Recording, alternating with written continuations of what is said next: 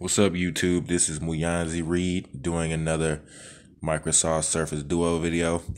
A viewer in my last video said that I should do a video showing how to make the live tiles work in Launcher 10. I told him I'll do it a little bit later, so here we are. Now, in order to get it to work, you know, this is the Launcher 10 app, Launcher 10 launcher for uh for um, Microsoft Surface Duo, and uh, this is my shit right here, you know. But anyway, let's get into the um, the point of the video. Okay, so Live Tiles is you know I've been using Windows Phone since day one, so Live Tiles are the main thing that makes the the OS the old OS of Windows Phone looked cool, man, because you had tiles flipping around, moving around. It wasn't just a static screen, uh, uh, icons on the screen not doing nothing, you know. It was it was different from iOS. It was different from Android. It was different from a lot of other OSs in the past. It was kind of like a new thing. So when you first download Launcher 10, you're not given the option to have live tiles flipping around, moving, you know, having the app have to gather data in order to have the notifications show up on the on the live tiles. You don't get that option. In order to get that option, I'm sorry to say you gotta pay for it. You know, you gotta pay for it. You see down there where it says purchases, live tiles purchased. Yep. I can't remember exactly how much it cost. Maybe like three, four dollars or some shit.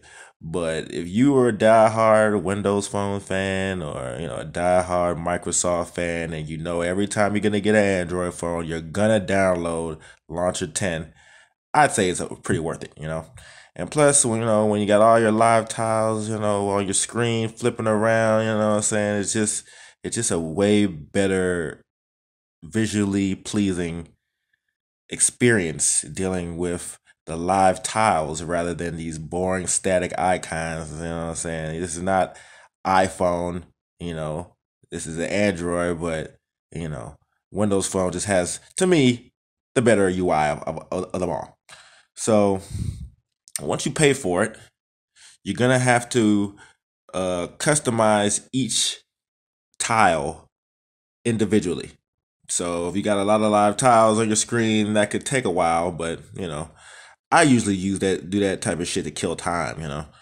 Uh, I be trying to I be trying to get rid of a lot of shit, get some shit done, you know, and uh maybe i charge my phone, maybe waiting to get off work, blah blah blah. And uh to make a good old few uh, I ain't gonna say it takes a few minutes. It takes a few minutes per app, per icon, you know, to customize, but you know, this how you do it. Okay, let's just go on YouTube, for example. Okay, you go click on edit. Uh, that, did I click on it? That's, that's I hate using the fucking using the uh oh I accidentally deleted it by accident. okay. Well, let's go to Messenger. Accidentally unpinned it, man. Fuck. Gotta put that back on there. So this is how you customize your each live tile. So, you know, mine's already the live tiles are flying and uh, flipping around and doing their thing. But um this how you do it. You go to edit and you got to you know, you can you can do a lot in edit, you know, you can change the width, the height, the label color, the the label itself, the icon, choose different icons for different apps. Maybe you don't like the static icon I mean, maybe you don't like the default icon. You know, as you notice, I got mine's looking real Windows Phone old school with all the white icons. You know, and in order to achieve that, you download Ycons right there in the corner, or you can do uh Minoic. I think that's how you pronounce that. To change the icons and shit. You can do a lot of other things. You can change the, you can browse icons, you know, in case the, uh, you know, you can't find one that matches what you want. You can, you can search for it. You can remove the frame. You can change the icon shadow. Uh, you can change the icon tint. You can uh, change the icon size, change the background. You know, usually for the for the background of the live tiles, you gotta go with the launcher theme. That's how you get this transparent, you know, uh, background and on all the tiles. You know, um, but the, to to to go back to what this shit is about, the live tiles. You go all the way down to live tiles. I don't remember if if they give you this this uh, live tile option right here, uh, the um the instructions when you um before you buy it. I don't think they I don't think they give it to you. You know what I'm saying? I think you buy it and then that's when this these these options pop up. But I could be wrong. I don't know. Like I said, this is two, three years ago. So from here, you know, usually I, I click off the default settings and then you got to kind of got to tweak it. You know, you right here, you can show notifications on tile. You know, I paid for that. You know, switch back to the icons uh, when the animating live tiles. I got that turned off, bro. I don't really like that too much. Show the icon, so the notification image on live tiles. You know, that's what you need. The one that I hate the most though is this uh, show badge count.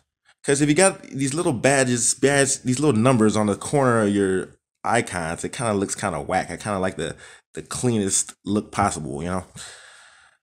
You know, you can if you want, you can put the calendar on the live tiles to flip. You can put a clock. You can put your contacts. You can put your gallery of some pictures you like.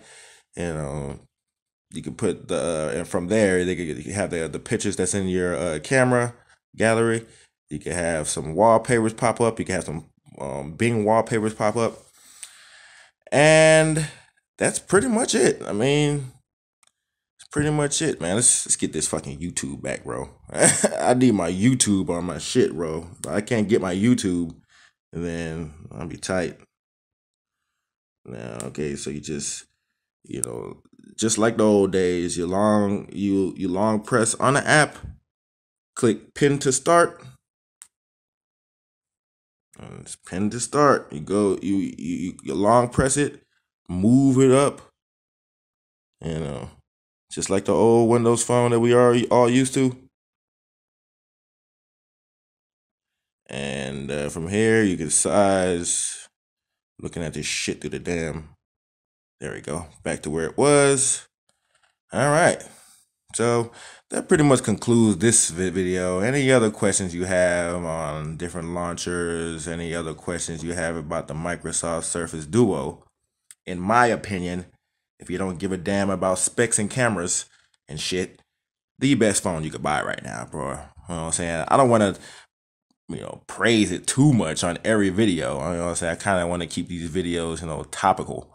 But I love my, I love this phone. Wouldn't trade it for anything. You know, the camera, the camera's alright. You know, it's, it's it's definitely good enough for social media. Nobody on Facebook or Instagram is ever gonna complain about the quality of this camera, but it has had a bad rap.